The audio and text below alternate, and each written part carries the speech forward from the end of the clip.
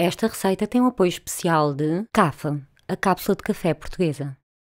Com o ingrediente secreto como o queijo não podia faltar um docinho. Eu vou-vos dar aqui uma receita de um flan de requeijão, muito fácil. E precisamos para esta receita queijo creme, açúcar, natas, leite.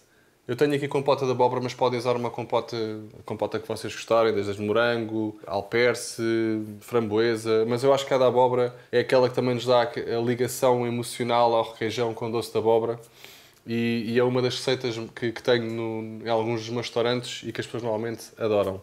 Vou começar primeiro por aquecer os líquidos, que no caso são leite 250 mililitros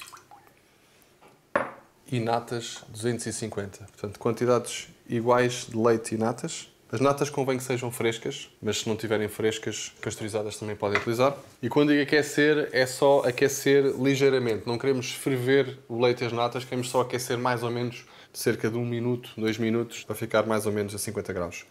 Entretanto, vou aqui numa taça partir quatro gemas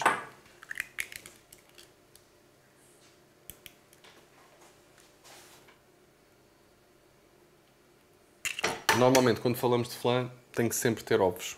E normalmente, também, quando falamos de flan, falamos em cozer em banho-maria. E é isso mesmo que vamos fazer. Portanto, são cozeduras lentas, a temperaturas baixas, que é para os ovos não ficarem demasiado cozidos e para ficar com uma textura bem cremosa. Portanto, este, esta sobremesa convém fazerem com alguma antecedência, porque vão precisar pelo menos de 2 a 3 horas de frigorífico. Portanto, 4 gemas, Esta receita é muito golosa, vai ficar muito cremosa no final. E os dois ovos inteiros.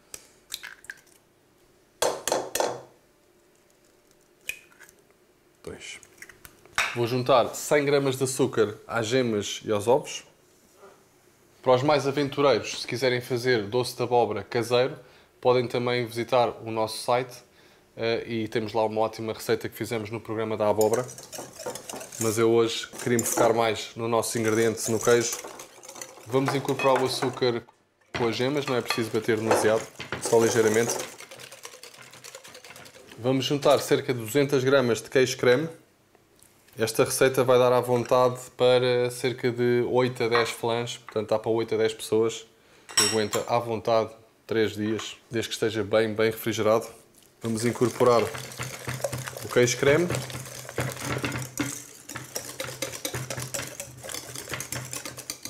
A seguir vou juntar o requeijão, 200 gramas de requeijão, até uma receita fácil de memorizar, 200 de requeijão, 200 de queijo creme, 4 gemas, 2 ovos, 100 gramas de açúcar. O requeijão é muito importante, claro, que esteja o mais fresco possível. Portanto, vamos juntar o requeijão e eu vou desfazê-lo ligeiramente. Nós em Portugal somos abençoados por este requeijão maravilhoso Há várias zonas do país que fazem bom requeijão e já está bem, bem enraizada a nossa cultura gastronómica.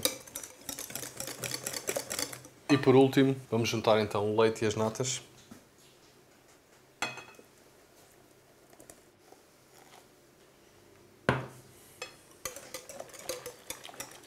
Claro que nesta fase parece que está muito líquido, mas agora vai a cozer ao forno a uma temperatura baixa e vão ver que depois de sair do forno já vai estar com uma textura cozida.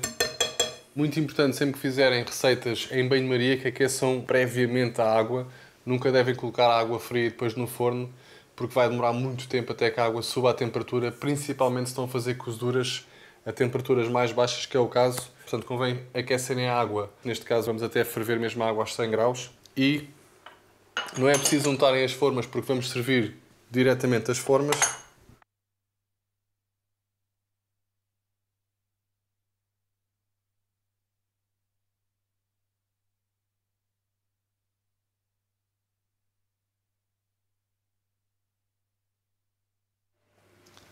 Agora, no recipiente, vou colocar a água bem quente. Convém cobrir pelo menos 3 quartos da taça, quando colocam a taça depois no banho-maria.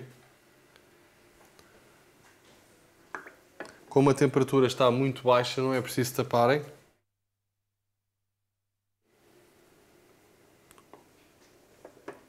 E vamos colocar então no forno cerca de 25 minutos a 120 graus.